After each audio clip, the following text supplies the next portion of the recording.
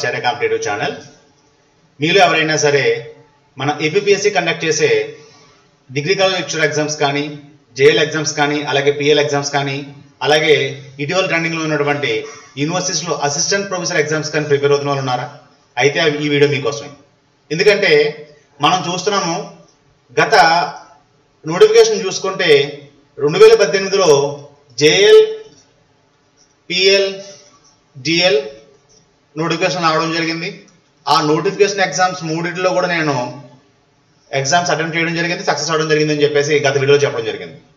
మరి అలాగే రెండు వేల పదిహేడులో టూ థౌజండ్ సెవెంటీన్లో యూనివర్సిటీస్లో అసిస్టెంట్ ప్రొఫెసర్ ఎగ్జామ్ సంబంధించి స్క్రీనింగ్ టెస్ట్ కూడా కండక్ట్ చేయడం జరిగింది. ఆ ఎగ్జామ్ కూడా నేను అటెంప్ట్ చేసి మంచి ర్యాంక్తో ఆ స్క్రీనింగ్ టెస్ట్ క్వాలిఫై అయ్యాను. కాకపోతే అది కొన్ని టెక్నికల్ ఇష్యూస్ వల్ల హైకోర్టు ఆ ఎగ్జామ్ని క్యాన్సిల్ చేయడం అలాగే ఇటీవల మళ్ళీ ఏపీ గవర్నమెంట్ ఇక్కడ నుంచి జరిగే రిక్రూట్మెంట్ యూనివర్సిటీస్లో జరిగే ఏ రిక్రూట్మెంట్ అయినా సరే అసిస్టెంట్ ప్రొఫెసర్ ప్రొఫెసర్కి సంబంధించిన రిక్రూట్మెంట్ అంతా కూడా ఏపీపీఎస్సీ ద్వారా జరగాలని చెప్పేసి ఇటీవల జరిగినటువంటి మన క్యాబినెట్ మీటింగ్లో కూడా మినిస్టర్ అనౌన్స్ చేయడం జరిగింది. దానికి సంబంధించినటువంటి ఒక వీడియో క్లిప్పింగ్ మీకు చూపిస్తాను చూడండి ఒకసారి.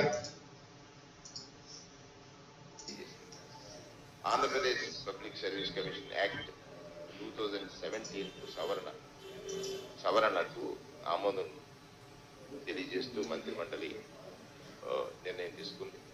యూనివర్సిటీలో రిక్రూట్మెంట్ ఇకపై ఏపీపీఎస్సి ద్వారా మాత్రమే ద్వారానే జరగాలనేటువంటి బిల్లుకు మంత్రి మండలి ఆమోదం తెలియజేస్తుంది ఆంధ్రప్రదేశ్ స్టేట్ ప్రివెన్షన్ చూశారు కదా ఫ్రెండ్స్? మన ఏపీ మినిస్టర్ ఈ యూనివర్సిటీస్లో జరిగే అసిస్టెంట్ ప్రొఫెసర్ ఎగ్జామ్స్ అన్ని కూడా ఇక్కడ నుంచి ఈబీబీఎస్సీ కండక్ట్ చేసే స్క్రీన్ టెస్ట్ ఎగ్జామ్ ద్వారా జరగాలని మాత్రమే కేబినెట్ నిర్ణయించుకుందని చెప్పడం జరిగింది. కాబట్టి ఇక్కడ ఎవరైతే ఈ జేఎల్ పిఎల్ డిఎల్ కోసం ప్రిపేర్ అవుతున్నారో వాళ్ళు కూడా ఈ అసిస్టెంట్ ప్రొఫెసర్ ఎగ్జామ్స్కి ప్రిపేర్ అవ్వచ్చు. ఎందుకంటే మనకి అతి త్వరలోనే ఎలక్షన్స్ ముందుగా మనకి నోటిఫికేషన్స్ వచ్చే అవకాశాలు ఎక్కువగా ఉన్నాయి కాబట్టి మన ఆంధ్రప్రదేశ్ రాష్ట్రంలో అతి త్వరలోనే ఈ మూడింటితో పాటు అసిస్టెంట్ ప్రొఫెసర్ ఎగ్జామ్ సంబంధించి నోటిఫికేషన్ కూడా రాబోతుందని చెప్పేసి మనకు క్లియర్గా అర్థమవుతుంది. మరి ఈ నాలుగు ఎగ్జామ్స్కి ప్రిపేర్ అయ్యే వాళ్ళు ఎవరైనా ఉంటే వాళ్ళకి సంబంధించి ఏం చదవాలి ఎలా చదవాలి అనే ఒక కన్ఫ్యూజన్ వాళ్ళ ఉంటుంది యాక్చువల్గా అంటే ఇప్పుడు జేఎల్ ఎగ్జామ్ తీసుకుంటే వాటికి చదవాల్సిన సబ్జెక్ట్ ఏంటి ఏం చదవాలి ఎలా చదవాలి పిఎల్ కోసం జరిగే ఎగ్జామ్స్కి ఏం చదవాలి ఎలా చదవాలి అలాగే డిఎల్ కోసం చదివే ఎగ్జామ్స్కి ఏం చదవాలి ఎలా చదవాలి అలాగే అసిస్టెంట్ ప్రొఫెసర్ కోసం జరిగే ఎగ్జామ్స్ సంబంధించి ఇన్ఫర్మేషన్ గురించి చాలా మంది సరైన అవగాహన ఉండట్లేదు. ఎక్కువ మందిని అడుగుతున్నారు. ఈ వీడియోలో వీటి సంబంధించి అసలు బేసిక్ ఇన్ఫర్మేషన్ ఏంటి అసలు వీటి క్వాలిఫికేషన్స్ ఏంటి ఎలా ఈ ఎగ్జామ్ పేటర్న్ ఎలా ఉంటుంది మనం ఈ ఎగ్జామ్స్లో క్వాలిఫై అవ్వాలంటే ఎలాంటి బుక్స్ చదవాలి ఎలాంటి విషయాల పట్ల మాట్లాడడం నేను ఎంచుకున్నాను చూడండి ఫ్రెండ్స్ మనకి ముందుగా జేఎల్ అంటే జూనియర్ లెక్చరర్. అంటే మీకు మన ఏపీ రాష్ట్రంలో ఉన్నటువంటి జూనియర్ కాలేజెస్ ఇంటర్మీడియట్ ఏదైతే ఉంటుందో ఆ కాలేజెస్లో టీచ్ చేసే లెక్చరర్లు అందరినీ కూడా మనము జూనియర్ లెక్చరర్ అని పిలుస్తాం. బహుశా ఇప్పుడు ఒకవేళ మన జేఎల్ రిక్రూట్మెంట్ నోటిఫికేషన్ రావడం జరిగితే అదే చివరి నోటిఫికేషన్ అని చెప్పుకోవచ్చు. ఎందుకంటే మన ఏపీ గవర్నమెంట్ కూడా NEP twenty twenty NEP twenty twenty ఈ ఎడ్యుకేషన్ పాలసీని అడాప్ట్ చేసుకుందామని చెప్పేసి అన్నారు కాబట్టి ఇక్కడ నుండి మనకి ఏపీ రాష్ట్రంలో జేఎల్ అనే ఎగ్జామ్ ఉండకపోవచ్చు. దీన్నే మనము అదర్ స్టేట్స్లో చూసే అంటే ముఖ్యంగా నార్త్ ఇండియన్ కంట్రీస్ స్టేట్స్లో చూసే ఏవైతే టీజీటీ పీజీటీ అని పిలువబడతాయో అలాంటి స్ట్రక్చర్ కూడా మనకి వచ్చే అవకాశం ఉంది కాబట్టి ఒకవేళ ఎలక్షన్స్ ముందు వచ్చే నోటిఫికేషన్ ఏదైనా ఉంటే జేఎల్ సంబంధించి అలాగే పిఎల్ సంబంధించి ఇవే మనకి చివరి నోటిఫికేషన్స్ అయ్యే అవకాశాలు ఉన్నాయి. ఇది ఇంకా మనకి పూర్తిగా ఖచ్చితంగా చెప్పలేము కానీ అయ్యే అవకాశాలు ఉన్నాయని మాత్రం చెప్పుకోవచ్చు. మరి ఇప్పుడే మనము ఒకవేళ నోటిఫికేషన్ అంటూ వస్తే దానికి ఈ గెజిటెడ్ హోదాలో మనం స్థిరపడాలంటే ఇదే ఒక సువర్ణ అవకాశం చెప్పుకోవచ్చు. ఎందుకంటే ఈ టీజీటీ పీజీటీలు గెజిటెడ్ హోదాలు కాదండి. మనకి రాష్ట్రంలో మనం చూస్తాం. ఈ intermediate text books only AP government కాలేజెస్లో కాకుండా గురుకులలో అలాంటి కాలేజెస్లో కూడా సేమ్ టెక్స్ట్ బుక్స్ టీచ్ చేసే వాళ్ళు ఉంటారు. వాళ్ళని మనం పీజీటీ పోస్ట్ గ్రాడ్యుయేట్ టీచర్స్ అని పిలుస్తాము. అలాగే ఇంకా తక్కువ కేటర్ అంటే హై స్కూల్ లెవెల్లో వాళ్ళని వాళ్ళని టీజీటీ అని పిలుస్తారు. మరి ఇదేమో గెస్టెడ్ హోదా? ఇది కూడా గెస్టెడ్ హోదా? ఇవన్నీ కూడా గెస్టెడ్ హోదా? ఇదే టెక్స్ట్ బుక్ టీచ్ చేసే వాళ్ళేమో నాన్ గెస్టెడ్ హోదా? అంటే మనకి మన ఏం ఎప్పుడు కూడా గెస్టెడ్ వాటికి ఉండాలని చెప్పేసి అనుకుంటాం ఎవరైనా సాధారణంగా. మరి అలాంటి నోటిఫికేషన్ ప్రిపేర్ అవ్వాలంటే ఒకటే సిలబస్ ఈ జేఎల్కైనా పిఎల్కైనా డిఎల్కైనా కామన్గా ఉండే సిలబస్ ఏంటంటే పేపర్ టూ సంబంధించి ఈ ఇంగ్లీష్ లిటరేచర్ అలాగే ఇంగ్లీష్ లాంగ్వేజ్ దీనికి సంబంధించి లిటరేచర్ అంటే చాలామందికి ఒక రకమైన భయం ఉంటుంది. ఎందుకంటే వాళ్ళు టూ ఇయర్స్ ఎంఏలో చదువుతారు కానీ అక్కడ సింపుల్గా ఒక సమ్మరీస్ గుర్తుపెట్టుకోవడం ద్వారా ఎగ్జామ్ ఫినిష్ చేస్తారు కానీ వాళ్ళకి సరైన అవగాహన ఉండదు. ఈ వీడియోలో మనం ఏం చేద్దామంటే అసలు జేఎల్ అంటే ఏంటి? పిఎల్ అంటే ఏంటి? వాటికి క్వాలిఫికేషన్స్ ఏంటి? ఆ ఎగ్జామ్ ప్యాటర్న్ ఎలా ఉంటుంది? ఇలాంటి విషయాల గురించి మాట్లాడతాను. దానికి సంబంధించి విషయాలు చూసిన తర్వాత మిగతా విషయాలు మనం డిస్కస్ చేద్దాం. ఓకే? ఇక్కడ మీకు స్క్రీన్ మీద కనిపిస్తున్నటువంటి ఈ నోటిఫికేషన్ ఏంటంటే టూ థౌజండ్ ఎయిటీన్లో టూ థౌజండ్ ఎయిటీన్లో మనకి డిసెంబర్లో రావడం జరిగింది. గత గవర్నమెంట్ రిలీజ్ చేసిన నోటిఫికేషన్స్ జేఎల్ అలాగే పిఎల్ డిఎల్ నోటిఫికేషన్ రిలీజ్ చేయడం జరిగింది. ఆ జేఎల్ జూనియర్ లెక్చర్ సంబంధించినటువంటి నోటిఫికేషన్ అండి ఇది చూసారా? Notification number twenty two two thousand eighteen. మనకి రెండు వేల పద్దెనిమిదిలో విడుదల చేసినటువంటి చివరి నోటిఫికేషన్ జేఎల్ సంబంధించి. మరి దీనికి ముందు రిలీజ్ చేసిన నోటిఫికేషన్ ఏదంటే జేఎల్ సంబంధించి రెండు వేల ఎనిమిదిలో. దాని తర్వాత దాదాపు మనకి పది సంవత్సరాల తర్వాత రెండు వేల పద్దెనిమిదిలో ఈ జైలు నోటిఫికేషన్ రావడం జరిగింది. మనలో చాలా మంది అభ్యర్థులకి గవర్నమెంట్ కాలేజెస్లో లెక్చరర్గా స్థిరపడాలనే గవర్నమెంట్ కాలేజెస్లో లెక్చరర్గా స్థిరపడాలనే ఒక బలమైన కోరిక ఆ జీవితాశయాలు ఉంటాయి అలాంటి వాళ్ళకి చూసారు ఎంత గ్యాప్ ఉందో ఈ నోటిఫికేషన్ పట్ల? మరి ఇప్పుడు ఒకవేళ రెండు వేల ఇరవై మూడు ఎలక్షన్స్ ముందు కాబట్టి మళ్ళీ నోటిఫికేషన్ వచ్చే అవకాశాలు ఉన్నాయి కాబట్టి ఈ గవర్నమెంట్ కాలేజ్ లెక్చరర్గా స్థిరపడాలనుకునే వాళ్ళు ఎవరైనా ఉంటే ఇదే ఒక సువర్ణ అవకాశం అవుతుంది. లేదు ఒకవేళ ఈ ఎడ్యుకేషన్ పాలసీ ప్రకారం తీసుకుంటే ఇంకా జేఎల్ నోటిఫికేషన్ ఉండబోదు అనుకున్నా కూడా ఈ డిఎల్ అంటే డిగ్రీ కాలేజ్ లెక్చర్ అయ్యే అవకాశాలు కూడా మనకి ఎక్కువగా ఉన్నాయి.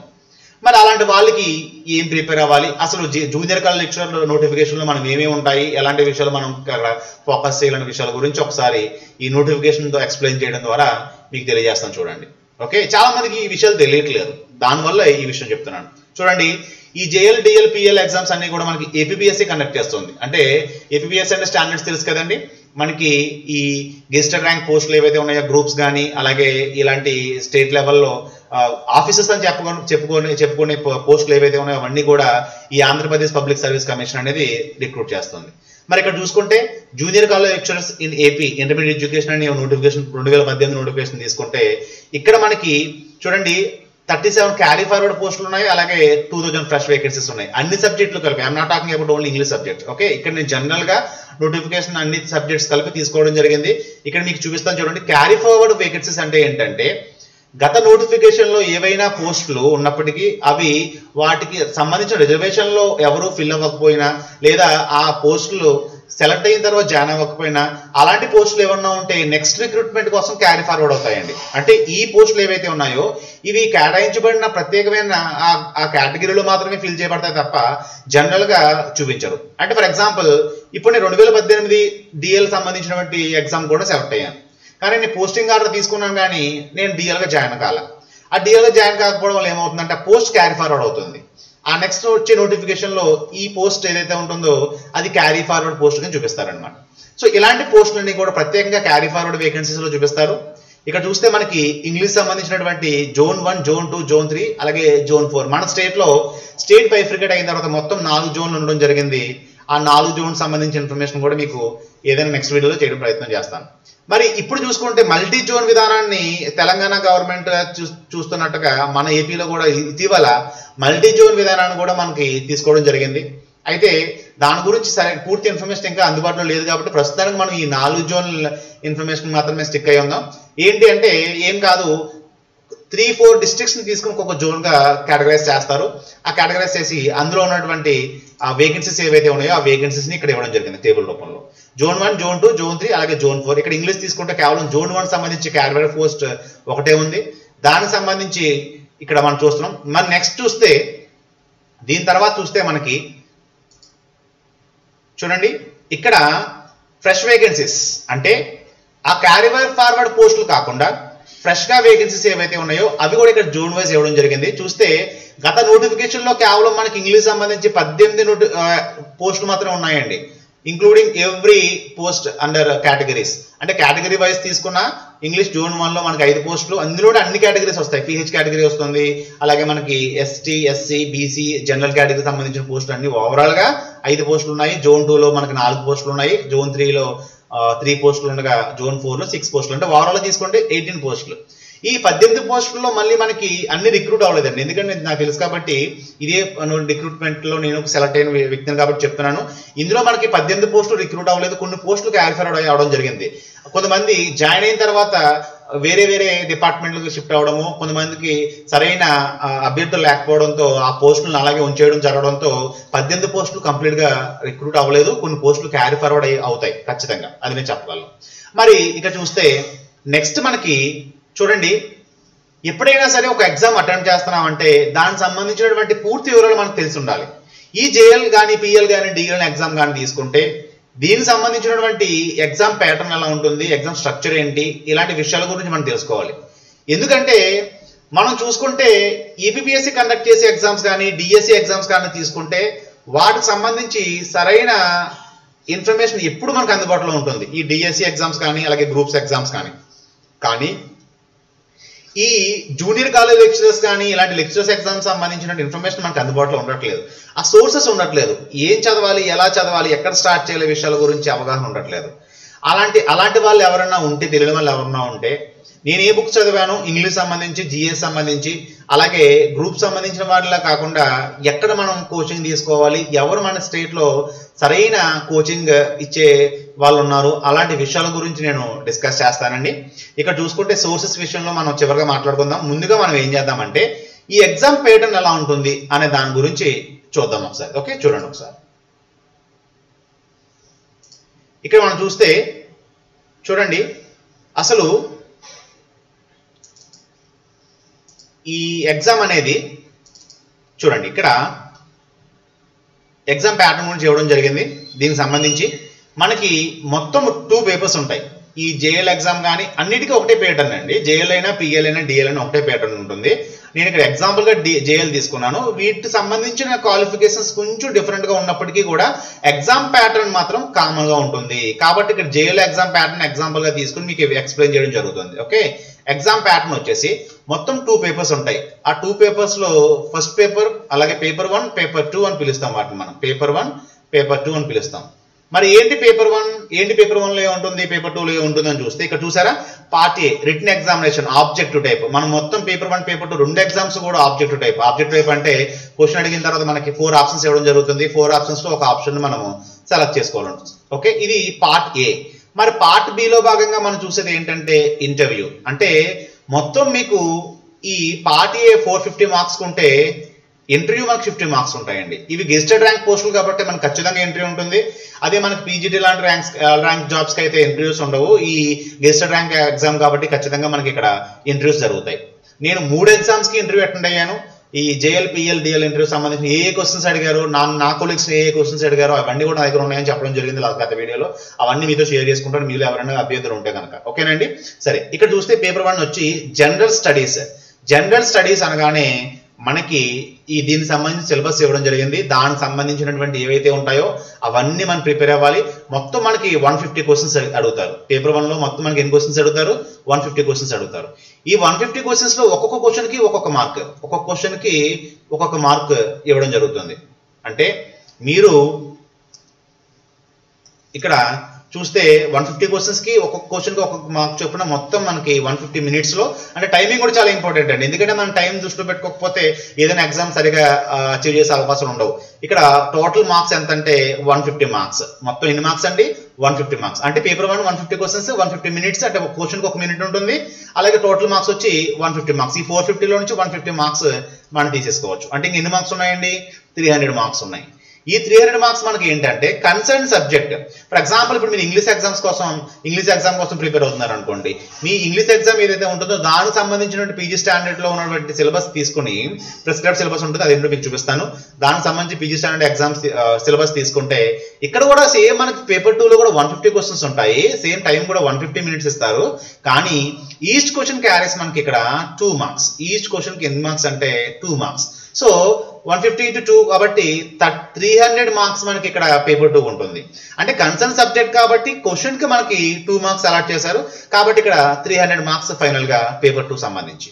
అదే పేపర్ వన్ వచ్చి వన్ ఫిఫ్టీ మార్క్స్ టోటల్ ఎన్ని మార్క్స్ అయ్యండి ఇక్కడికి ఫోర్ ఫిఫ్టీ మార్క్స్ అయ్యి అవుతాయి. చూసారా ఫోర్ ఫిఫ్టీ మార్క్స్ ఇది పేపర్ రిటర్న్ ఎగ్జామ్ ఫార్మాట్ అంటే మొత్తం టూ పేపర్స్లో ఒకటి uh, జిఎస్ ఉంటుంది రెండోది జనరల్ స్టడీస్ అంటాము రెండోది మనకి కన్సర్న్ సబ్జెక్ట్ ఏదైతే ఉంటుందో దానికి సంబంధించి పేపర్ ఉంటుంది. ఓకే ఈ రెండు చూస్తే మనకి దీనికి సంబంధించినటువంటి రిటర్న్ ఎగ్జామ్ మరి తర్వాత చూస్తే ఇంటర్వ్యూ దీన్ని మనం ఓరల్ టెస్ట్ అని కూడా అంటాం. ఇంటర్వ్యూ అంటే తెలుసు కదా మీ అందరికీ? ఓరల్ టెస్ట్ అంటాం.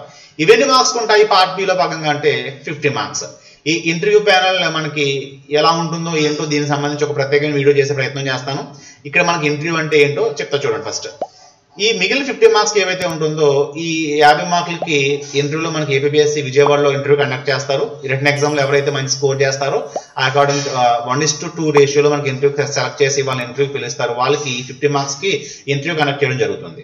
మరి ఆ ఇంటర్వ్యూలో ఎలాంటి క్వశ్చన్స్ అడిగారు ఎవరెవరు ఉన్నారో ఏంటో విషయం మనం ప్రత్యేకమైన ఒక వీడియో డిస్కస్ చేద్దాం. ఇక్కడైతే చూడండి అతి ముఖ్యమైన పాయింట్ ఏంటంటే ఎవరైనా ఎగ్జామ్ ప్రిపేర్ అయ్యే వాళ్ళు ఈ మధ్య కాలంలో ఏపీఎస్సి కండక్ట్ చేసే ఎగ్జామ్స్కి చాలా వరకు నెగిటివ్ మార్కింగ్ uh, ఉంటుంది. అంటే ఇప్పుడు రాబోయే నోటిఫికేషన్లో నెగిటివ్ మార్కింగ్ తీసేస్తారా లేదా అనేది ఇంకా సరైన క్లారిటీ లేదు. కానీ రెండు వేల పద్దెనిమిదిలో జరిగినటువంటి రిక్రూట్మెంట్ అన్నింటిలో కూడా మనకు నెగిటివ్ మార్కింగ్ ఇవ్వడం జరిగింది. ఆ నెగిటివ్ మార్కింగ్ ఎలా అంటే వన్ బై థర్డ్ మార్క్స్ అన్నమాట. అంటే మీరు మూడు సరైన మూడు తప్పు ఆన్సర్స్కి ఒక మార్క్ డిడక్ట్ చేస్తారు. మీకు వచ్చిన కరెక్ట్ ఆన్సర్స్ మార్క్స్ నుంచి. అంటే చాలా మంది నెగిటివ్ మార్కింగ్ అనగానే ఒక చిన్న అపోహ ఏంటంటే మనకి ఫిఫ్టీ ఫిఫ్టీ ఛాన్సెస్ ఉన్నప్పుడు క్వశ్చన్స్ ఏం చేస్తారంటే చీకట్లో బాణాలు వేసే ప్రయత్నాలు చేస్తారు. అంటే ఇప్పుడు నాకు ఫిఫ్టీ ఫిఫ్టీ ఛాన్సెస్ ఉన్నాయి కదా ఈ ఎగ్జామ్ ఈ క్వశ్చన్స్కి నేను ఆప్షన్ పెడితే అంటే చూస్ చేసుకుంటే ఒకవేళ కరెక్ట్ అయితే మనకు ఒక మార్క్ వస్తుంది ఒకవేళ రాంగ్ అయితే మనకు పోయేది వన్ థర్డ్ మార్కే కదా అని చెప్పేసి ఇలాంటి ఆలోచనలో ఉంటారు. అది నేను నన్ను అడిగితే ఇది ఒక రాంగ్ అజంప్షన్ అంటాను. ఎందుకంటే నాకు తెలిసిన చాలా మంది అభ్యర్థుల్లో నెగిటివ్ మార్కింగ్ వల్ల అంటే మంచి స్కోర్ చేసి చేసినప్పటికీ కూడా నెగిటివ్ మార్కింగ్ వల్ల చేసినటువంటి పొరపాట్లతో వాళ్ళకి స్కోర్ చాలా డ్రాస్టికల్గా పడిపోవడంతో వాళ్ళు ఆ జాబ్ పొందే అవకాశం కోల్పోయిన వాళ్ళు చాలా మందిని చూశాను. సో నెగిటివ్ మార్కింగ్ గురించి మనం ఒకసారి డిస్కస్ చేద్దాం. తర్వాత ఇది చాలా చాలా చాలా క్రూషియల్ థింగ్ అండి. మనం చాలా లైట్ తీసుకుంటా ఉంటారు. ఒకవేళ ఇన్ కేస్ మనకి రాబోయే రిక్రూట్మెంట్ నోటిఫికేషన్స్లో నెగిటివ్ మార్కింగ్ తీసిస్తే గొడవ లేదు. బట్ ఉంటే మాత్రం చాలా కేర్ఫుల్గా ఉండాలి. ఇక్కడ చూసుకుంటే Student, the candidate have to write paper to examination in the subject relevant to the course code applied, studied at the PG level, one of the following. ఇక్కడ మన క్వాలిఫికేషన్స్ ఏంటంటే ఎవరైతే పీజీ లెవెల్లో ఈ బుక్ ఈ సబ్జెక్ట్స్ చదువుతారో వాళ్ళు మాత్రమే ఈ యొక్క పేపర్ టు కన్సర్న్ సబ్జెక్ట్ని సబ్జెక్ట్కి ఎలిజిబుల్ అవుతారు. అంటే ఫర్ ఎగ్జాంపుల్ మీరు ఎంఎస్సి మ్యాథమెటిక్స్ చేస్తే మ్యాథమెటిక్స్ సంబంధించినటువంటి ఎగ్జామ్స్ మాత్రమే ఎలిజిబిలిటీ ఉంటుంది. అదే మీరు ఇంగ్లీష్ చేస్తే ఇంగ్లీష్ సంబంధించినటువంటి ఎగ్జామ్స్కి మీరు ఎలిజిబిలిటీ ఉంటుంది. ఇది మనకి చాలా వరకు తెలిసిన విషయమే. ఇక్కడ చూస్తే ఏ సబ్జెక్ట్స్లో మనకి ఈ సబ్ మనకి ఇంటర్మీడియట్ లెవెల్లో రిక్రూట్ చేస్తారో క్లియర్గా ఇవ్వడం జరిగింది. చూసారా? English Telugu Hindu Hindi Urdu Sanskrit Oriya mathematics physics chemistry botany zoology commerce economics civics history వీటన్నిటికీ ఒక సబ్జెక్ట్ కోడ్ ఉంటుందండి. ఇది ఇంపార్టెంట్ మనకి. సబ్జెక్ట్ కోడ్ మనకి మనం చూసుకుంటే ఈ రకంగా ఉంటుంది. సరే దీని తర్వాత మనం చూస్తే ఇక్కడ చూసారా? జిఎస్ సిలబస్ ఇవ్వడం జరిగింది. ఇది రెండు వేల పద్దెనిమిదిలో ఇచ్చినటువంటి జిఎస్ సిలబస్ కాకపోతే ఇప్పుడున్న ప్రజెంట్ అదర్ ఏపీఎస్సి రిలీజ్ చేసిన సిలబస్ చూసుకుంటే కొన్ని టాపిక్స్ని మనకి తీసేయడం కొత్త టాపిక్స్ని యాడ్ చేయడం చూసాం గ్రూప్స్ లాంటివి. సాధారణంగా ఇవన్నీ కూడా మీకు గ్రూప్లో గ్రూప్స్ ఎగ్జామ్స్కి ప్రిపేర్ అయ్యే వాళ్ళకి పేపర్ వన్ ఏదైతే ఉంటుందో దాదాపు అదే సిలబస్ మనకి దీంట్లో కూడా ఉంటుంది. కాబట్టి ఎవరైనా సరే గ్రూప్స్ ప్రిపేర్ అయ్యే వాళ్ళకి సిలబస్ చాలా ఈజీగా అనిపించే అవకాశం ఉంటుంది. ఇది కూడా చాలా ఇంపార్టెంట్ అండి. ఈ విషయం గురించి మనం మాట్లాడదాము. ప్రస్తుతానికి ఈ general studies and mental ability అనే టాపిక్ ఏదైతే ఉంటుందో ఇది పేపర్ వన్లో కవర్ చేస్తారు. అంటే ఈ పేపర్ వన్ సంబంధించి ఈ టాపిక్స్ మనం కవర్ చేయాల్సి ఉంటుంది. దీంట్లో మనకి national national and international events ఏవైతే ఉంటాయో వాటికి సంబంధించి కరెంట్ అఫైర్స్ అలాగే మోడర్న్ హిస్టరీ అలాగే ఎకనామిక్స్ ఇలాంటి టాపిక్స్ ఏవైతే ఉంటాయో అవన్నీ మనకి ఇక్కడ ఇస్తారు. అంటే ఒకవేళ ఏమైనా మనకి నోటిఫికేషన్ వస్తే చిన్న చిన్న చేంజెస్ ఉంటాయి తప్ప దాదాపు ఇవే సిలబస్ మనకి ఉండే అవకాశం ఉంది కాబట్టి వీటి గురించి మనం నోటిఫికేషన్ వచ్చే వరకు వెయిట్ చేయకూడదు. మనం నోటిఫికేషన్ వచ్చిన తర్వాత సిలబస్ మారుతుంది కదా అప్పుడు చూద్దాంలే అనుకున్న వాళ్ళు ఎవరన్నా ఉంటే ఖచ్చితంగా వాళ్ళు లాస్ అవుతారండి. ఎందుకంటే ఈ టాపిక్స్ అన్ని కూడా విత్ ఇన్ టూ త్రీ మంత్స్లో కవర్ చేసే టాపిక్స్ కాదు. వీటి కోసం చాలా ప్రీ ప్లాన్డ్ ప్రిపరేషన్ ఉండాలి. ఒక పర్సిస్టెంట్ ప్రిపరేషన్ ఉండాలి. వాటింటికి మన ప్లా- ప్లాన్ ప్రకారం వెళ్తే మాత్రమే ఏవైనా మంచి స్కోర్ చేయగలుగుతాం కాబట్టి జాగ్రత్తగా ఉండాలి. సరే ఇక్కడ చూస్తే ఇవన్నీ చాలా కామన్ టాపిక్స్ uh, అండి. ప్రతి ఎగ్జామ్స్ వాడికి కామన్ టాపిక్స్ ఇవన్నీ కూడా. వీటిని మీకు ఏవైతే ఉంటాయో వాటిని పూర్తి అవగాహన తెచ్చుకోవడం ద్వారా మంచి స్కోర్ చేయొచ్చు. ఎందుకంటే ఇది కూడా చెప్తున్నాం వినండి ఇంటర్వ్యూలోనే కాదు నెగిటివ్ మార్క్ వల్లే కాదు పేపర్ వన్ సరిగ్గా ఫోకస్ చేయకపోవడం వల్ల చాలా మంది మార్క్స్ కోల్పోయి ఆ యొక్క జాబ్స్ uh, కోల్పోయిన సందర్భాలు చాలా ఉన్నాయి. సరే ఇది మనకి చూసుకుంటే పేపర్ వన్ సంబంధించిన సిలబస్ మరి నెక్స్ట్ మనకి పేపర్ వన్ గురించి మనం ప్రత్యేకమైన వీడియో చేద్దాము. మనకి ఫోకస్ అంతా కూడా ఎగ్జామ్ ప్యాటర్న్ స్ట్రక్చర్ కాబట్టి దాని గురించి నేను ఫాస్ట్ చెప్పే ప్రయత్నం చేస్తున్నాను. ఓకే పేపర్ టూ అంటే ఇక్కడ ఎగ్జాంపుల్ నేను ఇంగ్లీష్ తీసుకుంటున్నాను. ఇంగ్లీష్ తీసుకుంటే ఇది మన కన్సర్న్ సబ్జెక్ట్ ఇది ఏంటంటే ఇంగ్లీష్ సంబంధించిన సిలబస్ చూడండి. ఇక్కడ మనకి ఇక్కడ చూసుకుంటే త్రీ పార్ట్స్ కింద డివైడ్ చేశారు. పార్ట్ వన్ పార్ట్ టూ అలాగే పార్ట్ త్రీ కింద డివైడ్ చేయడం చూసాం. మనలో చాలా మంది ప్రిపేర్ అవుతున్న వాళ్ళు ఆల్రెడీ ప్రిపేర్ అయిన వాళ్ళు నేను విన్నది చూసింది ఏంటంటే ఈ ప్రిస్క్రైబ్డ్ సిలబస్ ఏదైతే ఉందో వాటి మీదే టైం అంతా ఫోకస్ చేస్తారు కానీ ఈ మూమెంట్స్ అండ్ కాన్సెప్ట్స్ కానీ లేదా ఈ ఇంగ్లీష్ లాంగ్వేజ్ టీచింగ్ ఈఎల్టీ అంటాం మనం ఈ ఇంగ్లీష్ అభ్యర్థులు ఎవరైతే ఉంటారో వాళ్ళకి తెలుసు. వీటి మీద ఫోకస్ తక్కువ పెడతారు. ఎందుకంటే వన్ ఫిఫ్టీ క్వశ్చన్స్ అడిగినప్పుడు కేవలం మనకు వన్ ఫిఫ్టీ క్వశ్చన్స్ వీటి నుంచి రావు కదా. మొత్తం ఈ టాపిక్స్ నుంచి అలాగే ఈ టాపిక్స్ నుంచి కూడా మనం కవర్ చేస్తారు కాబట్టి ఈచ్ అండ్ ఎవ్రీ టాపిక్ని మనం ఈక్వల్గా చేయాలి. అంటే ఈ ప్రిస్క్రైబ్డ్ సిలబస్ కాబట్టి చాలా ఈజీ ఇప్పుడు విలియం షేక్స్పియర్ తీసుకుంటే హామ్లెట్ కానీ టెంపెస్ట్ కానీ తీసుకుంటే ఆ- ఆ యొక్క వర్క్ని ఎలా అనలైజ్ చేసి చదవాలో ఏంటో మనం ముందు ముందు డిస్కస్ చేస్తాం. చాలా ఈజీగా ఉంటుంది. దానికి సంబంధించినటువంటి మెటీరియల్ ఏం చదవాలో ఏంటో సజెస్ట్ చేస్తాను. ఎవరు ఈ ఎవరు ఇచ్చిన మెటీరియల్ మనకి అందుబాటులో ఉంది. దానివల్ల మనకి ఎలాంటి యూజ్ ఉంటుంది? ఇవన్నీ కూడా మీకు ఎక్స్ప్లెయిన్ చేసే ప్రయత్నం చేస్తాను ముందు వీడియోలో ఇక్కడ చూసుకుంటే ఇవి రైటర్స్ అండ్ టెక్స్ట్ ఇచ్చినటువంటి ప్రిస్క్రైబ్డ్ వర్క్స్ కాబట్టి పెద్ద ప్రాబ్లం ఉండదు. కానీ ఇక్కడ ఏదైతే మూమెంట్స్ అండ్ కాన్సెప్ట్స్ అని చెప్పేసి ఇక్కడ ఇవ్వడం జరిగిందో వీటి గురించి చాలా మంది ఫోకస్ చేయరండి. ఎందుకంటే ఇవన్నీ కూడా ఇంగ్లీష్ లిటరేచర్ బ్యాక్గ్రౌండ్ ఉన్న వాళ్ళకి చాలా టఫ్ సబ్జెక్ట్స్ అని చెప్పవచ్చు అంటే వాళ్ళు ఒకవేళ ఈ ఎంఏలో చదివినప్పుడు తప్ప మళ్ళీ ఒకసారి వాటి గురించి ప్రిపేర్ అవ్వకపోతే ఇవన్నీ మళ్ళీ కొత్తగా అనిపిస్తాయి. చెప్పా కదా ఎంఏ ఇంగ్లీష్ ఎగ్జామ్స్ అనగానే చాలా మంది అంటే అందరూ కాదు అన్ని అన్ని యూనివర్సిటీస్ కాదు అంద అందరూ అని కాదండి చాలా వరకు ఎలా ఎలా చదువుతున్నారంటే జస్ట్ మనకి ఆన్లైన్లో దొరికే స్పార్క్ నోట్స్ లాంటి వెబ్సైట్స్ నుంచి సమరీస్ తీసుకుని జస్ట్ చదివేసి పాస్ అవుతున్నారు. అలా అలాంటి చదువు మనకి ఉపయోగపడదు ఇక్కడ ఇక్కడ తీసుకుంటే. ఎందుకంటే కాన్సెప్ట్ ఓరియంటెడ్ లెర్నింగ్ ఉండాలి ఖచ్చితంగా. ఈ మూమెంట్స్ అండ్ కాన్సెప్ట్స్ అంటే మనకి ఇందులో ఏమేమి వస్తాయి? రెనజాన్స్ షేక్స్పియర్ టైంలో మనకి రెనజాన్స్ అనే ఒక లిటరే లిటరేచర్ మనకి మూవ్మెంట్ ఒకటి స్టార్ట్ అవుతుంది. దానికి సంబంధించి ఇటలీలో మొదలైనటువంటి మూవ్మెంట్ మనకి ఇంగ్లాండ్ లాంటి కంట్రీస్ కూడా ఎక్స్పాండ్ అవుతుంది కాబట్టి స్ప్రెడ్ అవుతుంది. దానికి సంబంధించి మెటాఫిజికల్ పోయిటరీ జాండన్ లాంటి వాళ్ళు metaphysical poetry neoclassicism romanticism Wordsworth అలాగే John Keats major English poets ఎవరైతే ఉన్నారో వాళ్ళందరినీ కూడా మనం రొమాంటి రొమాంటిక్ మూవ్మెంట్లో చూస్తాం.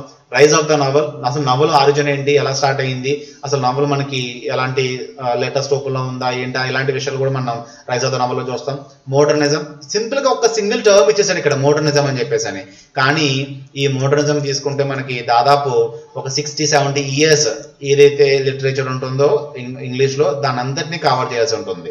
ఇలాంటి విషయాలు మనం ఏం చదవాలో ఏం చదవకూడదో తెలుసుకున్నప్పుడు మాత్రం టైం చేసుకో సేవ్ చేసుకోవడం ద్వారా మంచి స్కోర్ సంపాదించే అవకాశం ఉంటుంది. నా నా ప్రిపరేషన్ స్ట్రాటజీస్ అన్ని కూడా టెక్నిక్స్ కూడా నీకు షేర్ చేసుకునే ప్రయత్నం చేస్తాను. అలాగే నెక్స్ట్ చూసారా? పోస్ట్ మోడర్నిజం అని చెప్పేసి ఆఫ్టర్ వరల్డ్ వార్ టూ తర్వాత తర్వాత ఉన్నటువంటి పీరియడ్ అంతా కూడా మనం పోస్ట్ మోడర్నిజంగా చెప్పుకోవచ్చు. అలాగే కలోనలిజం మనకి బ్రిటిష్ ఇన్వేషన్ ఏదైతే ఉంటుందో ప్రపంచవ్యాప్తంగా వాళ్ళు ఈ రూల్ బ్రిటిష్ రూల్ ఏదైతే ఉంటుందో అక్కడ కూడా ఇంగ్లీష్ లిటరేచర్ని మనం చూస్తాం. దాని అంతటిని కూడా కలోనిజం కలోనలిజం మరియు పోస్ట్ కలోనలిజంగా డిస్కస్ చేస్తాం. అలాగే డయాస్పోరా అంటే అదర్ కంట్రీస్లో సెటిల్ అయినటువంటి ఇంగ్లీష్ ఆథర్స్ ఎవరైతే ఉంటారో వాళ్ళందరికి సంబంధించి దీంట్లో చూస్తాం. ఇంకా next psychological criticism myth and archetype feminism structuralism post structuralism reconstruction లాంటి లిటరీ థీరీస్ టాపిక్స్ అన్ని కూడా ఇవి మనం సింపుల్గా ఒక బుక్ తీసుకుంటే చదివితే అర్థమయ్యే టాపిక్స్ కాదండి. దీనికి చాలా ఎఫర్ట్ పెట్టాలి. ఇది వన్ uh, ఒక వన్ వీక్ లోనో టూ వీక్స్ లోనో కంప్లీట్ చేసే సిలబస్ కూడా కాదు. అయితే దీనికి సంబంధించిన నోట్స్ కానీ ఎలాంటి మన సోర్సెస్ ఉన్నాయి ఎవరు దీనికి సంబంధించి క్లాసెస్ చెప్తున్నారు నాకున్న ఎక్స్పీరియన్సెస్ ఏంటి నేను ఎలా ప్రిపేర్ అయ్యాను నేను ఎక్కడి నుంచి నోట్స్ కలెక్ట్ చేశాను అనే విషయాలన్నీ కూడా మీకు ఇంగ్లీష్ సంబంధించి ప్రత్యేకంగా ఒక వీడియో చేసే ప్రయత్నం చేసి దాంట్లో మీకు డిస్కస్ చేసే ప్రయత్నం చేస్తాను. ఓకే ఇవి మనకి మూవ్మెంట్స్ అండ్ కాన్సెప్ట్ సంబంధించినటువంటి టాపిక్స్ మరి నెక్స్ట్ చూసుకుంటే writers and text writers and checks అంటే ఇందాక చెప్పినట్టుగా ప్రిస్క్రైబ్ చేసినటువంటి వర్క్స్ ఏవైతే ఉంటాయో ఆధార్ సంబంధించిన వర్క్స్ వాటి గురించి సపరేట్గా మనం ఇందులో చూస్తాం దాదాపు ఇవి థర్టీ ప్లస్ టాపిక్స్ ఉంటాయండి. థర్టీ ప్లస్ వర్క్స్ మనకి ఉండడం జరుగుతుంది. చాలా ఈజీగా ఉంటుంది. ఎలా చదివితే మనకి ఇందులో ఎలా అడిగిన క్వశ్చన్స్ రాయి ఆన్సర్ చేయగలమో ఏంటో కూడా మీకు షేర్ చేసుకుంటాను. ఈ ఓన్ నోట్స్ ఎలా ప్రిపేర్ చేయాలో ఫస్ట్ నీకు మీకు చెప్పే ప్రయత్నం చేస్తాను. నా నోట్స్ కూడా మీకు ఒక శాంపుల్ నోట్స్ కూడా చూపించే ప్రయత్నం చేస్తాను. ఇది రైటర్స్ అండ్ టెక్స్ట్ సంబంధించి. మరి దీని తర్వాత చూడడానికి సింగిల్ వర్డ్లో కనిపించినప్పటికీ కూడా దీని తర్వాత మనం ఫోకస్ చేసిన అతి ముఖ్యమైన టాపిక్ ఏంటంటే పాయింట్ ఏంటంటే ఇక్కడ ఇంగ్లీష్ లాంగ్వేజ్ అండ్ టీచింగ్. ఈ ఇంగ్లీష్ లాంగ్వేజ్ అండ్ టీచింగ్ ఏదైతే ఉంటుందో ఇది సాధారణంగా మనము ఈ డిఎస్సి అభ్యర్థులు కూడా ఈ టాపిక్స్ మనకి కనిపిస్తూ ఉంటాయి. అంటే మీలో ఎవరైనా డిఎస్సి కోసం ప్రిపేర్ అవుతున్న వాళ్ళు అలాగే ప్రిపేర్ అయిన వాళ్ళు ఎవరైనా ఉంటే ఈ టాపిక్స్ మనకి అక్కడ చాలా ఫ్రీక్వెంట్గా కనిపించే టాపిక్స్ ఉంటాయి. కాబట్టి వాళ్ళకి ఎవరికైనా ఈజీగా ఉంటుంది. ఓకే? ఇదంతా కూడా అప్లికేషన్ ఓరియంటెడ్ క్వశ్చన్స్ ఎక్కువ వస్తాయండి ఇంట్లో నుంచి మనకి. ఈఎల్టీ ఇన్ ఇండియా అంటే ఎయిటీన్ థర్టీ ఫైవ్ నుంచి అంటే అంత ముందు ఉన్నప్పటికీ కూడా మనకి ఎయిటీన్ థర్టీ ఫైవ్ బిగినింగ్గా చెప్పుకుంటారు. ఎయిటీన్ థర్టీ ఫైవ్ నుంచి కూడా మెకాలి మినిట్స్ దగ్గర నుంచి కూడా మన ఇండియన్ బ్యాక్గ్రౌండ్లో ఇంగ్లీష్ లాంగ్వేజ్ యొక్క ఇంట్రడక్షన్ ఎలా జరిగింది దాని యొక్క స్కూల్స్లో ఎలా ఇంట్రడ్యూస్ చేశారు ఏ ఏ కమిటీస్ ఉన్నాయి ఏ ఇయర్లో ఏ మేజర్ స్టెప్ తీసుకున్నారు లాంటివన్నీ కూడా ఇక్కడ అడుగుతారు. అలాగే ఇండియాలో ఇంగ్లీష్ లాంగ్వేజ్ యొక్క ప్రాముఖ్యత ఏంటో మనందరూ తెలిసిందే. మనం ఏ స్టేట్ తీసుకున్నా సరే కామన్ లాంగ్వేజ్ ఈరోజు ఈ రోజు ఇంగ్లీష్ లాంగ్వేజ్ అనేది ఉండడం జరిగింది. అలా సెకండ్ లాంగ్వేజ్గా ఎలా టీచ్ చేస్తున్నారు? ఇంగ్లీష్ లాంగ్వేజ్ని ఫారెన్ లాంగ్వేజ్గా ఎలా టీచ్ చేస్తున్నారు? English as a global language అని చెప్పేసి ఎలా టీచ్ చేస్తున్నారు? ఇలాంటి విషయాలన్నీ కూడా మనకి ఈ టాపిక్లో క్వశ్చన్ చేస్తారు. ఈ- ఈ టాపిక్లో okay? Next methods and approaches దీనికి సంబంధించి ఒక మేజర్ బుక్ ఉంటుంది. అలాగే ప్రీవియస్ క్వశ్చన్స్ ఏవైతే ఉంటాయో అవి ఎక్కడి నుంచి ఎక్కువ అడుగుతున్నారో ఎలాంటి క్వశ్చన్స్ మనం ప్రిపేర్ అయితే మనకు ఎందుకంటే ఇదంతా చాలా వ్యాస్ట్ సిలబస్ అండి. సింపుల్గా మనకి అప్లికేషన్ ఓరియంటెడ్ అడగచ్చు లేదా డైరెక్ట్ క్వశ్చన్స్లో కొటేషన్స్ అడిగే అవకాశాలు కూడా ఉంటాయి. ఈ గ్రామర్ ట్రాన్స్లేషన్ మెథడ్ కానీ డైరెక్ట్ మెథడ్ కానీ ఇలాంటి టాపిక్స్ వాటి మీద ఈ మెథడ్స్ అండ్ అప్రోచెస్ గురించి చాలా క్వశ్చన్స్ ప్రీవియస్ క్వశ్చన్స్ మనకి ఏమేమి అడిగాడో నేను రాసిన ఎగ్జామ్స్లో వారి ఒక క్వశ్చన్ పేపర్స్ ఎగ్జాంపుల్ నేను రాసిన ఎగ్జామ్ పేపర్స్ ఏవైతే ఉన్నాయో వాటిని మీకు ఇంట్రడ్యూస్ చేస్తాను. ఓకే ఇది మెథడ్స్ అండ్ అప్రోచెస్ సంబంధించి. Next teaching of language skills మనకు తెలుసు ఎల్ఆర్ఎస్డబ్ల్యూ స్కిల్స్ ఉన్నాయి. ఏ లాంగ్వేజ్ నేర్చుకోవాలంటే మనకి ఈ నాలుగు స్కిల్స్ లిజనింగ్ రీడింగ్ అలాగే స్పీకింగ్ రైటింగ్ స్కిల్స్ తీసుకుని వాటికి సంబంధించినటువంటి స్కిల్స్ని ఎలా టీచ్ చేస్తాము వీటి టైప్స్ ఏంటి వీటిలో ఉన్నటువంటి ఇంటర్నల్గా ఉండే టాపిక్స్ ఏంటో వాటికి సంబంధించి కూడా మనం డిస్కస్ చేద్దాం. నెక్స్ట్ వచ్చి ఎలిమెంట్స్ గ్రామర్ అలాగే వొకాబులరీ అలాగే ప్రొనౌన్సియేషన్ ఈ మూడు కూడా ఈ మూడు ఎలిమెంట్స్ లాంగ్వేజ్కి చాలా ఇంపార్టెంట్ కదా.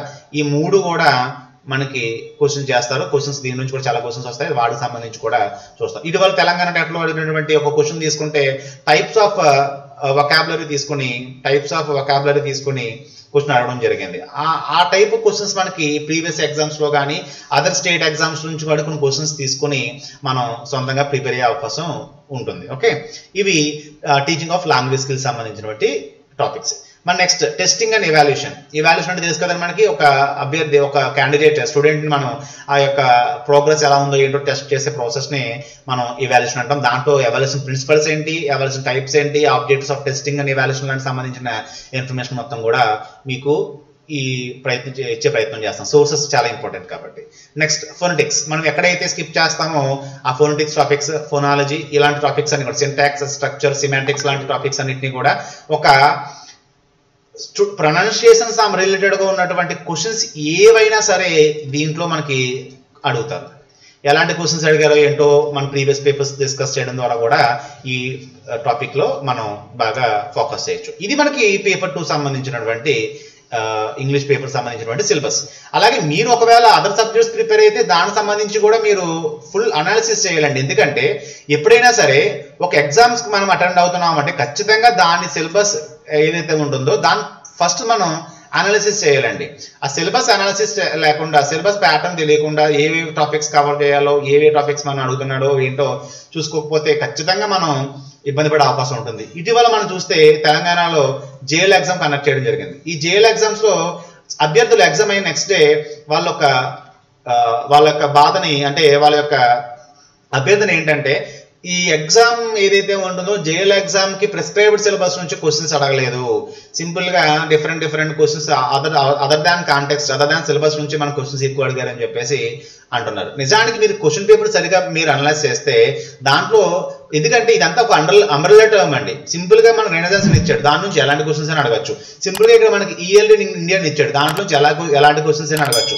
అది క్వశ్చన్ పేపర్ సెటర్ యొక్క మైండ్ సెట్ మీద ఆధారపడి ఉంటుంది తప్ప మనకి ప్రిస్క్రైబ్డ్ సిలబస్ అన్నప్పుడు దాంట్లో మనకి కొన్ని సిల కొన్ని టాపిక్స్ మనకి అవుట్ ఆఫ్ సిలబస్ ఉంటే మనం ఆ క్వశ్చన్ చేయొచ్చు. కానీ అబ్జెక్షన్స్ టైంలో చాలా వరకు మనకి చాలా మంది పూర్తి అవగాహన లేకపోవడం వల్ల అవుట్ ఆఫ్ సిలబస్ అని ఫీల్ అవుతూ ఉంటారు. కానీ ప్రతి క్వశ్చన్ పేపర్ కూడా దాదాపు ఈ ప్రిస్క్రైబ్డ్ సిలబస్ ఏదైతే ఉంటుందో దాని నుంచే ఎక్కువ అడిగే అవకాశాలు ఉంటాయి సరే మీకు ఒకసారి ఈ విషయం చెప్తా చూడండి. మనలో చాలా మందికి ఈ సిలబస్ మీద పూర్తి అవగాహన రాక ఇబ్బంది పడుతూ ఉంటారు. మరి ఏ బుక్స్ చదవాలి? ఈ సిలబస్ సంబంధించినటువంటి సోర్సెస్ ఏంటి? ఎలాంటి వీడియోస్ ఉన్నాయి? ఎలాంటి కోచింగ్ సెంటర్స్ మనకు అందుబాటులో ఉన్నాయి? నా ఎక్స్పీరియన్సెస్ ఏంటి? అన్ని కూడా మీకు చెప్పినట్టుగానే మీకు అన్ని అందుబాటులోకి తీసుకొచ్చే ప్రయత్నం చేస్తాను. ఈ వీడియోలో మనము ఏం చేసామంటే ఇప్పుడు పేపర్ టూ ఏదైతే ఉంటుందో దానికి సంబంధించినటువంటి డీటెయిల్డ్ ఇన్ఫర్మేషన్ మొత్తం ఇదంతా జస్ట్ ఇంట్రడక్షన్ పార్ట్ మాత్రమే. ఎందుకంటే ఇక్కడతో అయిపోలేదు. మనం ఇక్కడ డిస్కస్ చేసిన విషయాలు చాలా ఉన్నాయి. ఎందుకంటే మనం చూస్తున్నాం ఈ సిలబస్ గురించి అవగాహన లేక ఎక్కడ స్టార్ట్ చేయాలో ఎలా స్టార్ట్ చేయాలో పాపం చాలా మంది అభ్యర్థులకి ఒక క్లారిటీ ఉండట్లేదు. అలాంటి వాళ్ళ కోసము కొంతమంది అడగడం కూడా జరిగింది. వాళ్ళ కోసం చెప్పేసి వీడియో చేయడం జరిగింది. మీరు ఎవరైనా సరే ఈ లెక్చరర్గా సెటిల్ అవ్వాలి అనుకుంటే అనుకుంటే మాత్రము ఖచ్చితంగా మీరు ఈ సిలబస్ గురించి పూర్తి అవగాహన కలిగి ఉండాలి. మరి ఇంకా నెక్స్ట్ చూస్తే మనకి అసలు క్వాలిఫికేషన్స్ ఏ ఉండాలి? అనే విషయం గురించి మనం ఇప్పుడు డిస్కస్ చేద్దామండి ఒకసారి. అంటే JL DL PL exams common syllabus ఉన్నప్పటికీ కూడా వీటికి సంబంధించిన ఎలిజిబిలిటీ లేదా క్వాలిఫికేషన్స్ డిఫరెంట్గా ఉంటుందండి. పెద్దగా డిఫరెన్స్ ఏం లేకపోయినప్పటికీ ఈ డిఫరెన్స్ పట్ల మనకి పూర్తి అవగాహన ఖచ్చితంగా కలిగి ఉండాలి. ఆ క్వాలిఫికేషన్స్ ఏంటో ఈరోజు ఈ పీడిఎఫ్ చూడటం ద్వారా మనం డిస్కస్ చేద్దాం. ఓకేనండి? ఒక నిమిషం. చూడండి. ఇక్కడ చూస్తే ఒక నిమిషం. మీకు ఆ పేజ్ ఓపెన్ చేసి చూపిస్తాను డైరెక్ట్గా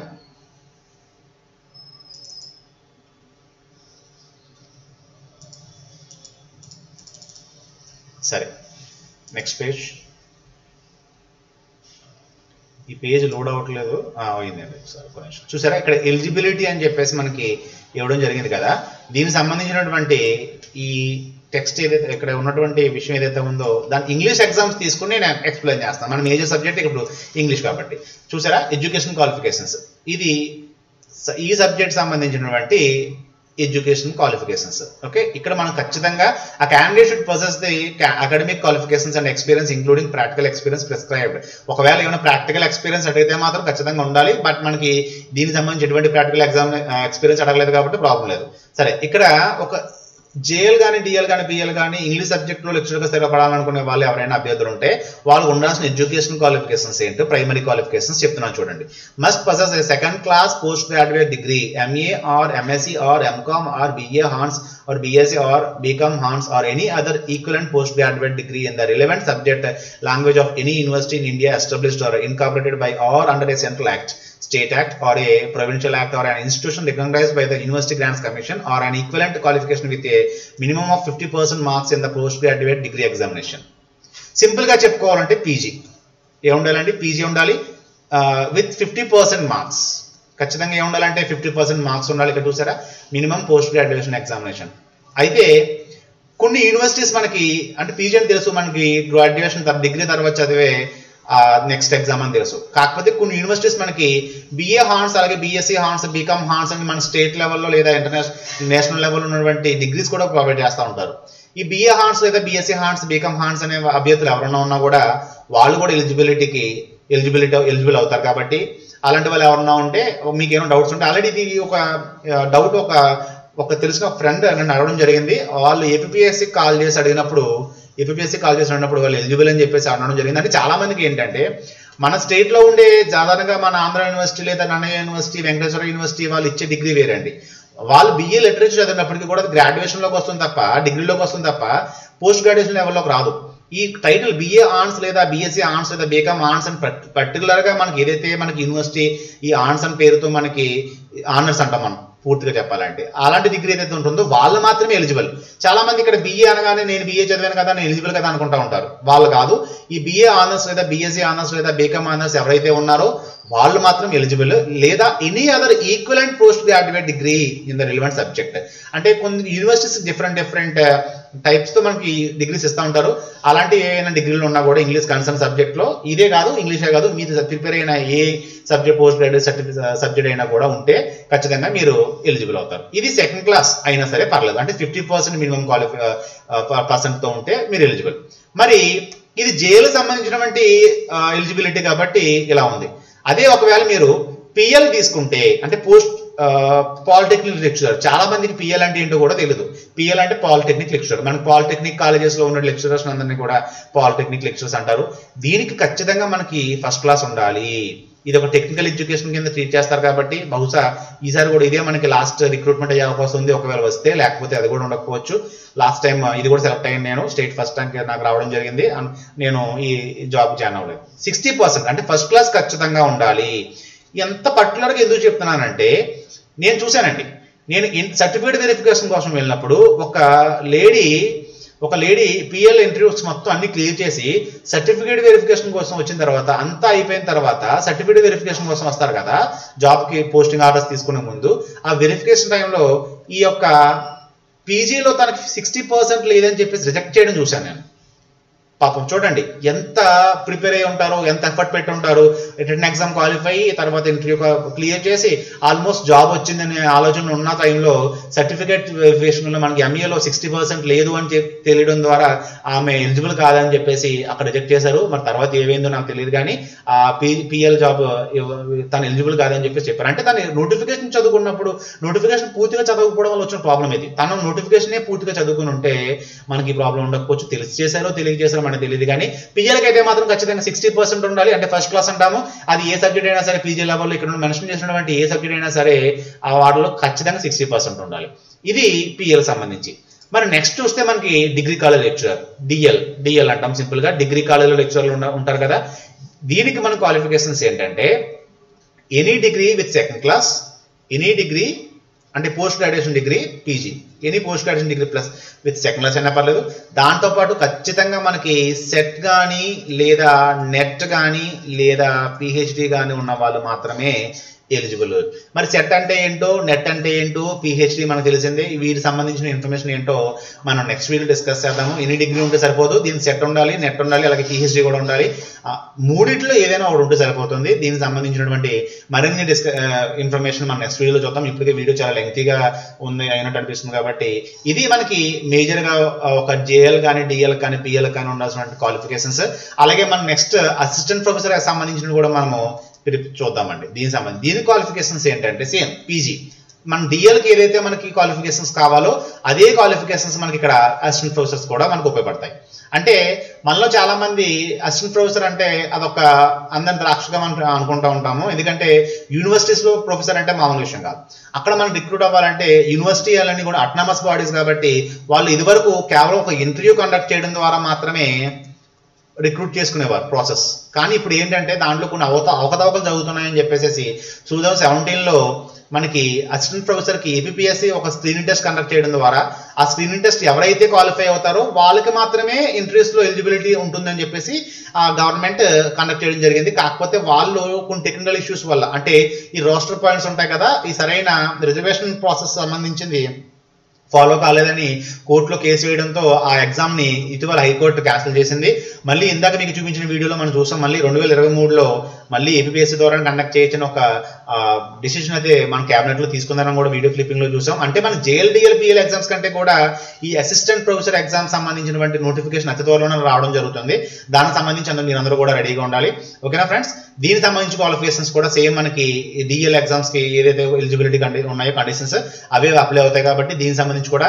కాకపోతే ఎగ్జామ్ ప్యాటర్న్ డిఫరెంట్గా ఉంటుంది. ఇది మన కామన్ జేఎల్ డిఎల్ వాటిలా కాకుండా దీంట్లో paper one paper two same ఉన్నప్పటికీ కూడా ఏపీఎస్సి కండక్ట్ చేసినప్పటికీ కూడా దీంట్లో స్ట్రక్చర్ అనేది ప్యాటర్న్ డిఫరెంట్గా ఉంటుంది. దానికి సంబంధించి మనం నెక్స్ట్ వీడియోలో చూద్దాము. ఇది ఈ రోజు మన జేఎల్ డిఎల్ పిఎల్ అలాగే అసిస్టెంట్ ప్రొఫెసర్ సంబంధించినటువంటి బేసిక్ ఇన్ఫర్మేషన్ ఓకేనా ఫ్రెండ్స్ ఈ వీడియో మీకు నచ్చినట్లయితే లైక్ చేయండి షేర్ చేయండి సబ్స్క్రైబ్ చేయడం మాత్రం మర్చిపోవద్దు. దీనికి సంబంధించినటువంటి ఇక్కడ నుంచి మనకు నోటిఫికేషన్స్ వచ్చే అవకాశం ఉంది కాబట్టి ప్రతి ఇన్ఫర్మేషన్ మీకు ఇచ్చే అందుబాటులో ఉంటాను. మీకు ఇన్ఫర్మేషన్ ఇవ్వడంలో ముందుంటానని చెప్పేసి ఖచ్చితంగా ట్రై చేస్తాను. కాబట్టి మనం నెక్స్ట్ వీడియోలో మరింత ఇన్ఫర్మేషన్తో కలుద్దాము. నా ఎక్స్పీరియన్స్ అంతా కూడా మీతో షేర్ చేసుకునే ప్రయత్నం చేస్తాం. Thank you thank you so much friends team ACC okay